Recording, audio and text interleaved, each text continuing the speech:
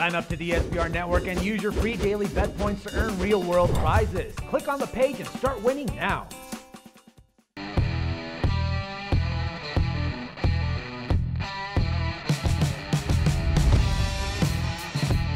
Welcome to SBRForum.com on a Thursday. In this video, we're going to take a look at three NHL games from the card, and we're going to give you some quick thoughts and some quick picks. Let's start off with the Los Angeles Kings and Winnipeg Jets. Now here, depending on where you get the line, you get the Kings from a mild to medium favorite. Um, I see about minus 115 to minus 120 according to my lines. It's probably going to go up significantly after the news broke on Wednesday that the Kings acquired Marian Gaborik and the Winnipeg Jets did nothing at the trade deadline.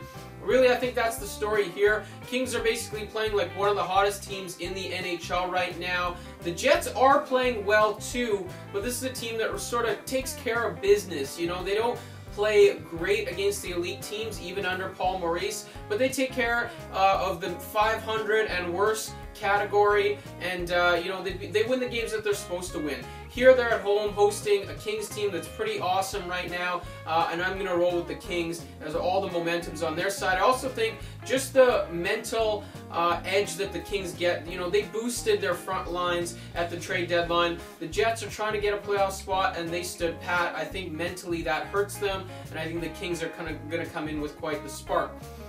I think the same story is evident here with Montreal and Phoenix. Uh, that's a game that's on later on on Thursday. You know, you got a Phoenix Coyotes team that's dropped four or five, and you got a Montreal Canadiens team that's coming to town as an underdog. And the Habs, actually, in my estimation, made one of the biggest moves on trade deadline day on Wednesday, acquiring Thomas Vanek. I think that's a good move that's going to boost them. You know, this is a team that has pretty much everything set on defense and goaltending. Really, offense is what holds them back.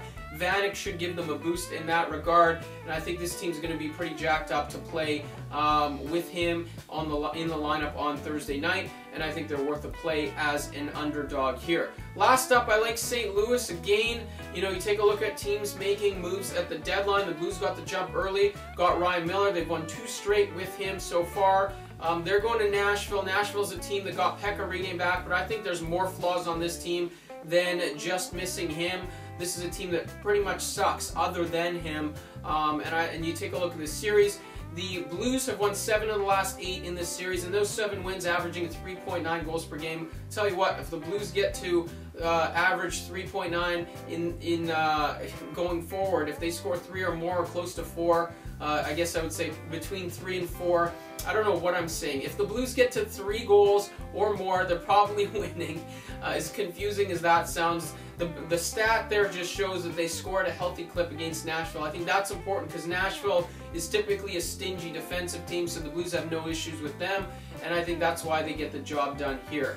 That's it for our picks right here on Thursday. Make sure you click over to our other videos on the site. We got a preview of the Washington and Boston game. Make sure you check that out before you go to your sports book and make some of these picks count. Thanks for watching.